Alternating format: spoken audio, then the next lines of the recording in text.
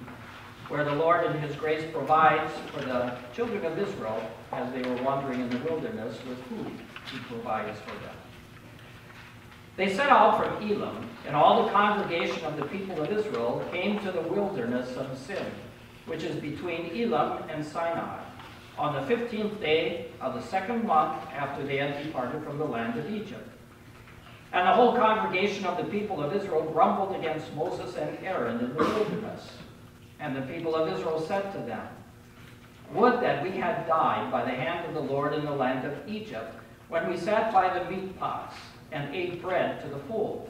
For you have brought us out into this wilderness to kill this whole assembly with hunger. Then the Lord said to Moses, Behold, I am about to rain bread from heaven for you, and the people shall go out and gather a day's portion every day that I may test them whether they will walk in my law or not. On the sixth day, when they prepare what they bring in, it will be twice as much as they gather daily. So Moses and Aaron said to all the people of Israel, At evening you shall know that it was the Lord who brought you out of the land of Egypt. And in the morning you shall see the glory of the Lord, because he has heard your grumbling against the Lord. For what are we that you grumble against us? And Moses said, When the Lord gives you in the evening meat to eat, and in the morning bread to the full, because the Lord has heard your grumbling, that you grumble against him, what are we? Your grumbling is not against us, but against the Lord. Then Moses said to Aaron, Say to the whole congregation of the people of Israel, Come near before the Lord, for he has heard your grumbling. And as soon as Aaron spoke to the whole congregation of the people of Israel, they looked toward the wilderness, and behold, the glory of the Lord appeared in the cloud. And the Lord said to Moses, I have heard the grumbling of the people of Israel. Say to them, At twilight you shall eat meat, and in the morning you shall be filled with bread. Then you shall know that I am the Lord your God. In the evening quail came up and covered the camp, and in the morning dew lay around the camp. And when the dew had gone up, there was on the face of the wilderness a fine flake-like thing, fine as frost on the ground. When the people of Israel saw it, they said to one another, What is it? For they did not know what it was. And Moses said to them, It is the bread that the Lord has given you to eat. Here ends the word of our Lord from the Old Testament. Our epistle lesson for the day, the second lesson is from Paul's second letter to the Corinthians, the ninth chapter, beginning at verse 8. We saw how the Lord was generous to his Old Testament people in the Old Testament times, and in his grace provided for them, even though they grumbled against him and often complained. Paul points out that as we faithful people look to our Lord in that faith and see how generous he has been towards us, and we respond in the rich measure of generosity, Again, that is a measure of God's grace as he works that within our lives. We read in 2 Corinthians chapter 9. The point is this, whoever sows sparingly will also reap sparingly, and whoever sows bountifully will also reap bountifully. Each one must give as he has decided in his heart, not reluctantly or under compulsion, for God loves a cheerful giver. And God is able to make all grace abound to you, so that having all sufficiency in all things at all times, you may abound in every good work. As it is written, He has distributed freely, He has given to the poor, His righteousness endures forever. He who supplies seed to the sower and bread for food will supply and multiply your seed for sowing and increase the harvest of your righteousness. You will be enriched in every way to be generous in every way, which through us will produce thanksgiving to God. Here ends the word of our Lord from the epistle. And in response to our first two lessons, we join in the singing of our next hymn, 440.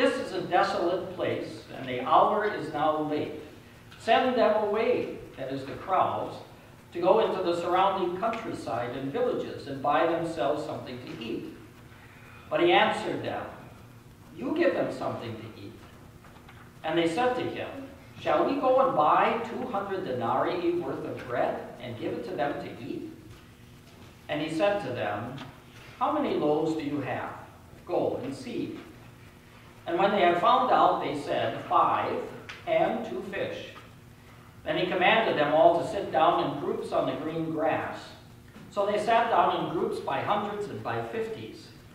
And taking the five loaves and the two fish, he looked up to heaven and said a blessing and broke the loaves and gave them to the disciples to set before the people. And he divided the two fish among them all. And they all ate and were satisfied. And they took up twelve baskets full of broken pieces and of the fish. And those who ate the loaves were 5,000 men. Now, what a great story that is. A great account of our Savior. In fact, this is the only story outside of his suffering, death, and resurrection that is recorded by all four of the evangelists, Matthew, Mark, Luke, and John. So, that says something about this being important. So what is God telling us here? I was surprised when I read this past week what someone else used as an explanation of the importance of this account. And this is what that person said. This is the good news that God intends for each of us to be filled to overflowing with what really we need most love and a sense of purpose, so much so that we cannot help but share it with each other. Now, when I read that, I scratched my head. I do agree that we have this need for God's love and share that love and purpose with others. But when he said God wants us to be filled to overflowing with love and a sense of purpose so that we cannot help but share it with each other, that confused me. What does that have to do with Jesus' miracle? How does one take a simple, straightforward account of Jesus performing a wondrous miracle and not see that first and foremost, that's the point? What an astounding act of God that only God can perform. Look what Jesus can do. Every miracle is about Jesus and what he does. It's not about us and what he wants us to be or what he wants us to do. It's about him, who he is, what he does, and how he reaches out in his compassion to help his people. So listen to him. The Bible says these things are written so that you may know that Jesus is the Christ, the Son of God, and that by believing may have life in his name. See, it's all about him. Miracles are divine acts, whether it be the feeding of the 5,000 in this account here, or walking on water, or whatever it might be, the healing of people. Miracles are divine acts by which Jesus shows his power as God, and, at least in this one, tests us in our response to him. You could say, he might say, let me test you.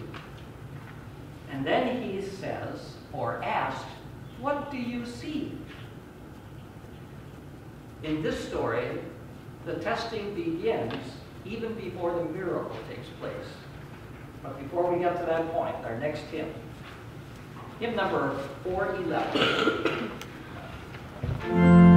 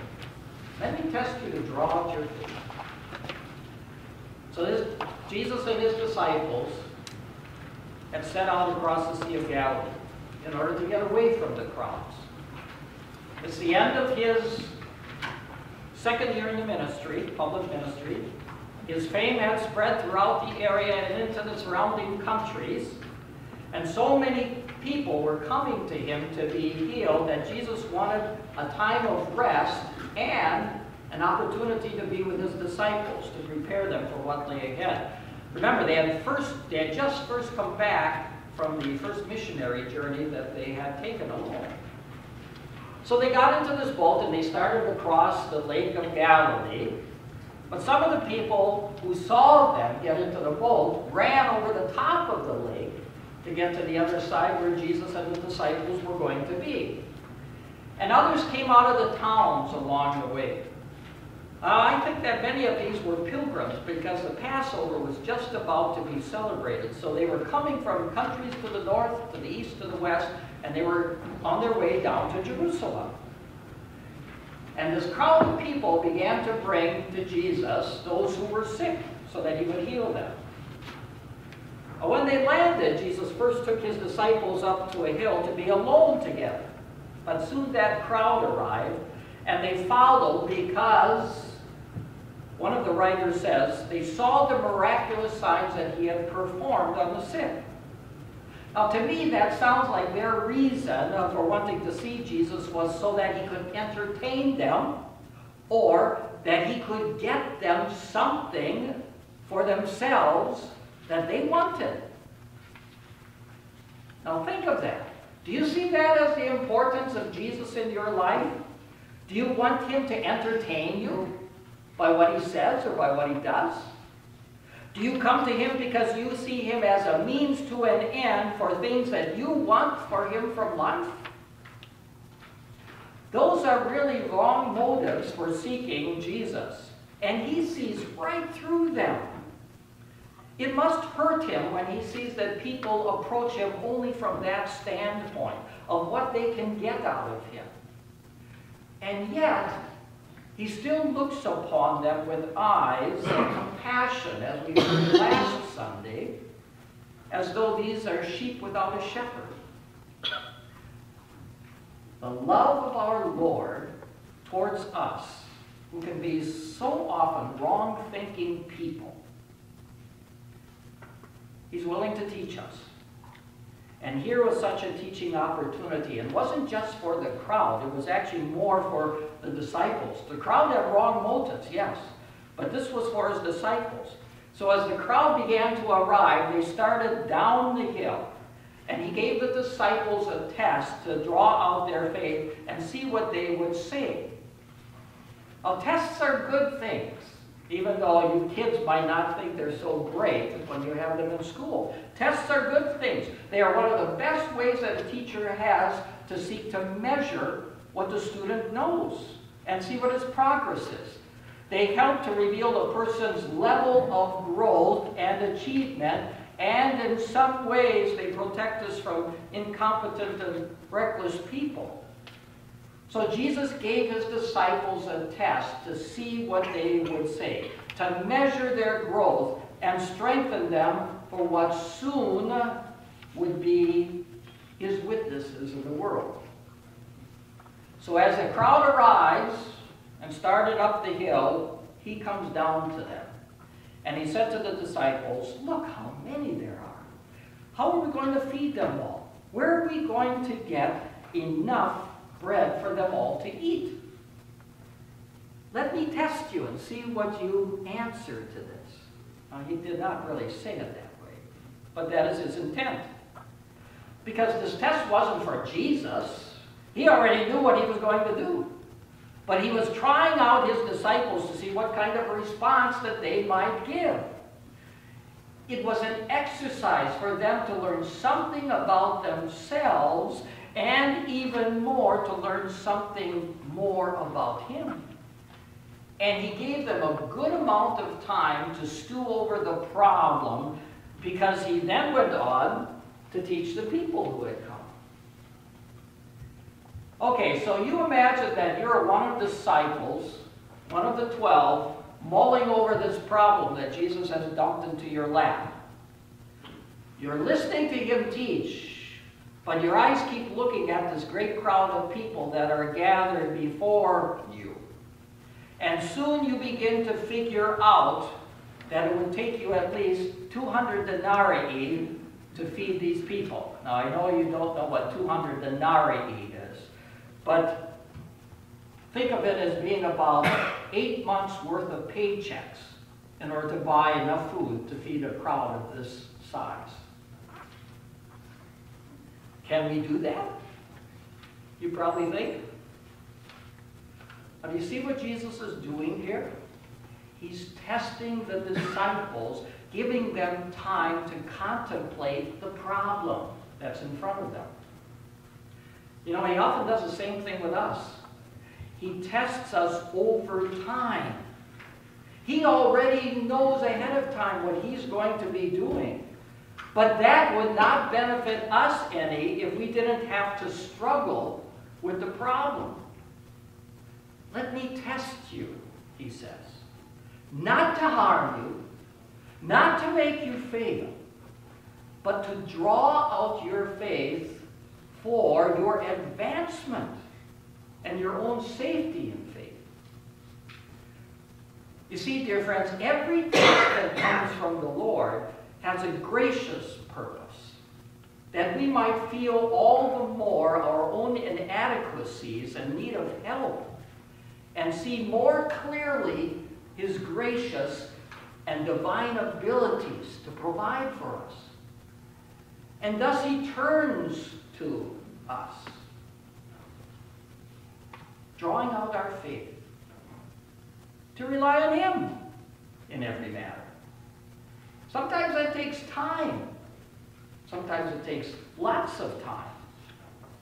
And he graciously makes use of the time for our learning and benefit. And before we go on, let's join in the singing of our next hymn, hymn number 415.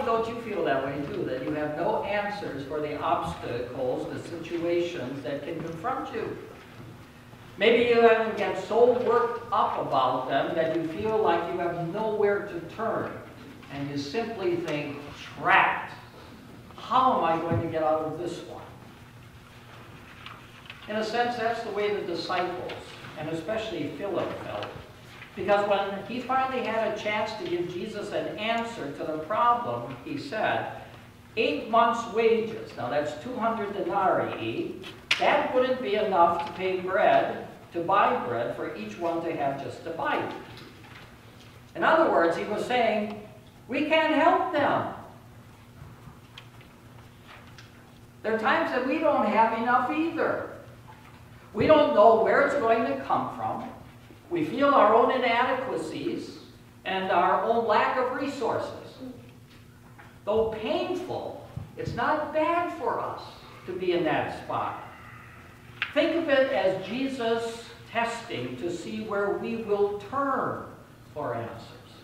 And the answer is always right there. It was right before the disciples. It was in Jesus who can handle every situation. So he said, Tell the people to sit down. And they all sat down on the grass, and they all sat in order, because Jesus is a God of order.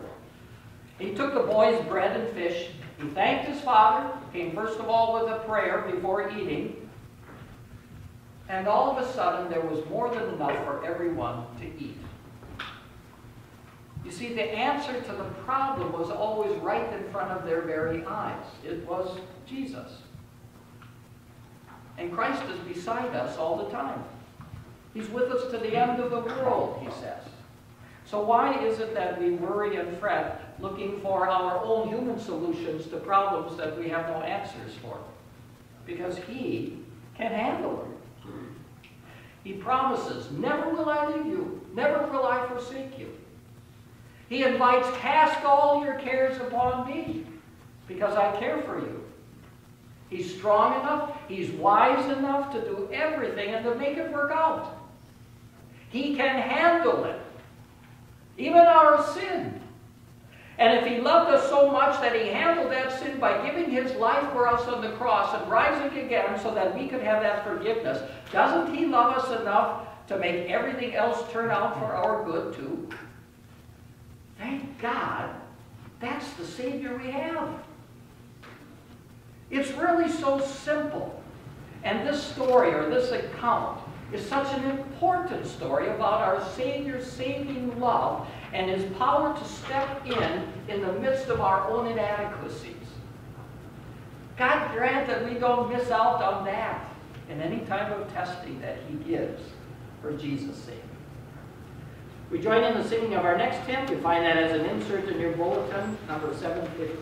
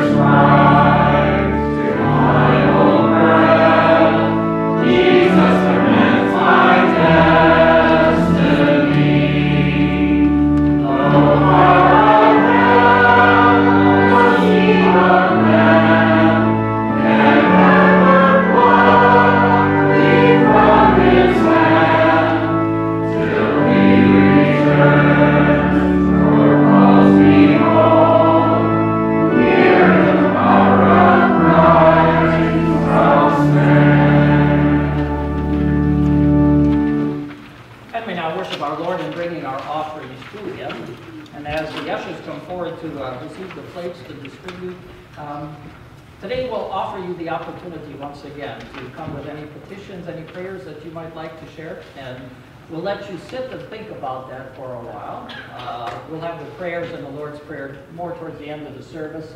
As we go on with the next hymns that we'll sing, you might, in those hymns, find a reason for asking a special petition today. So think about that at this time. And now the usher will come forward.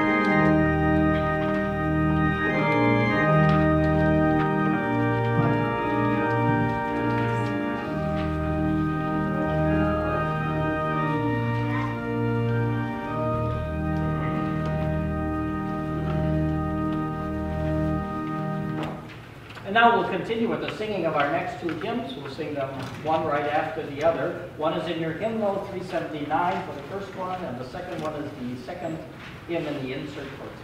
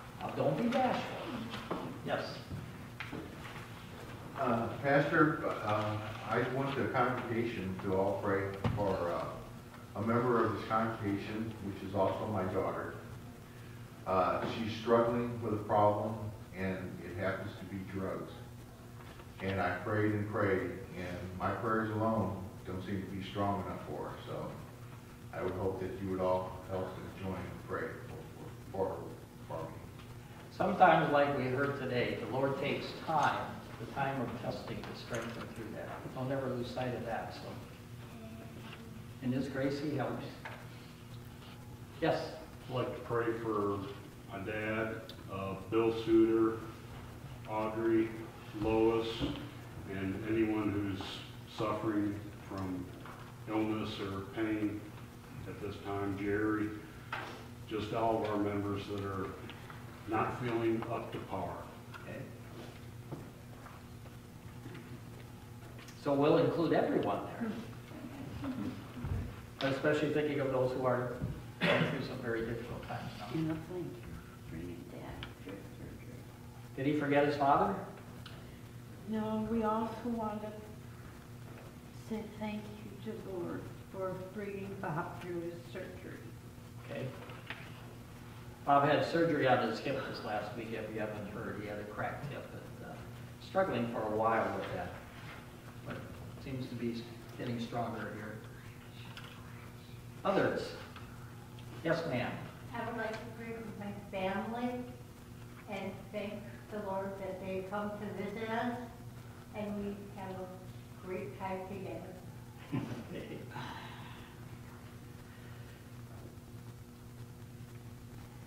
And we'll probably pray for them that they're thankful to be able to come and visit you. Others? No? Going once, going twice. Oh, okay. My brother and my sister who both had cancer. Yeah, okay.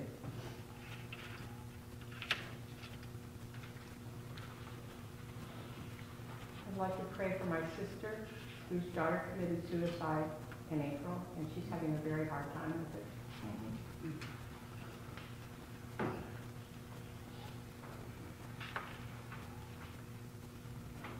See, there are a lot of difficulties that go on in life, aren't there? And when those problems confront us, we tend to fail to see Jesus as right there as the answer to us. But sometimes it takes time in order to help, let him help us grow. Okay? Yes, ma'am. I would like to also pray for my husband and uh, heard of Thanksgiving that he is so good to me and is a real help the time that I really need. Okay, can we pray for all spouses that way too? Or just for Bob?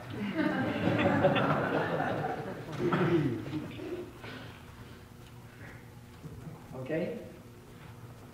So you think on your own too as we pray.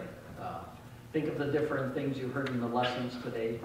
Um, Maybe patience at times, maybe strength at times, and healing too. So we pray. O Lord God, Heavenly Father, you are the Lord who watches over all your people. You have given us, your Son, our Savior, to take care of our greatest needs. But there are other needs that confront us daily too. We are happy for that forgiveness and that salvation that Christ has won for us. And we pray that you will strengthen us along the way with all other needs that we have. We pray on behalf of the niece, Jeannie, who has lost the son about a month ago or so, that they would find their peace and their rest in you.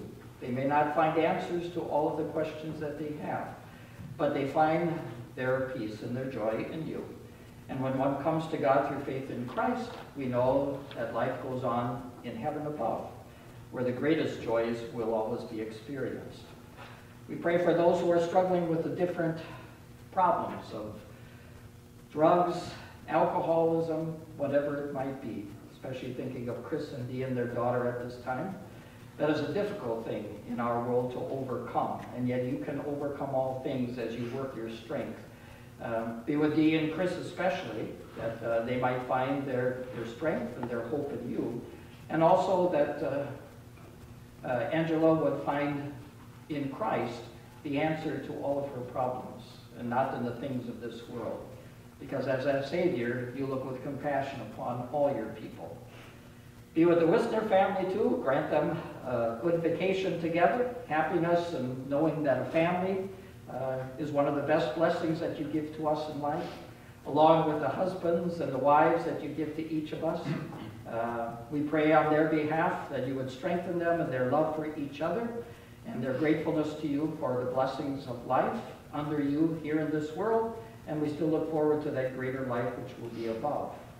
Be with Lois and her family also, as they have many sicknesses, especially cancer that enters their lives at this point. They need that look of looking to, they need to look to the Savior always, knowing that He will provide them the strength that they need to get by day after day, and that He will be at their side through every difficulty that arises. We also think of all of our members and friends who are ill at this point, in the hospital like Bob, undergoing surgery or have undergone surgery, those who are confronted with family problems, those who are looking for answers to things that they do not know uh, how to deal with. We know that you are the God who looks compassionately again upon his people and you will provide the answers. We thank you for bringing Bob, especially through his surgery at this time, and pray that the doctors and nurses who take care of him will also provide, be your ways to provide the means for, for his uh, recovery, if that is according to your will. But above all, we know that we always rest in your hands, so we can be safe in every circumstance. Suicide is a difficult thing, O oh Lord, to uh, deal with. And yet you provide the comfort and the assurance to your people that you are with them in every circumstance. There is no sin that is not forgiven before you because Christ died for all sin. It's only that uh, lack of unbelief or lack of faith, being an unbelief, that would ever separate us from you. So give the family, give Sharon especially uh, that faith in you, knowing that you work all things for the good of your people in every trying situation that may come. And we ask, dear Lord, that you would be with us all today, whether we are traveling or whether we are just at home, that your angels would guard and protect us, that your spirit would guide us, and that you would give us the peace and confidence in you, knowing that we can rely on you for all things. And now hear us as we come to you with all of our requests in the prayer that you yourself have taught us. Our Father, who art in heaven, hallowed be thy name. Thy kingdom come. Thy will be done on earth as it is in heaven. Give us this day our daily bread, and forgive us our trespasses, as we forgive those who trespass against us. And lead us not into temptation, but deliver us from evil. For thine is the kingdom, and the power, and the glory, forever and ever. Amen. And now receive with believing hearts the benediction of our Lord. The Lord bless you and keep you. The Lord make his face shine upon you and be gracious unto you. The Lord lift up his countenance upon you and grant you his peace.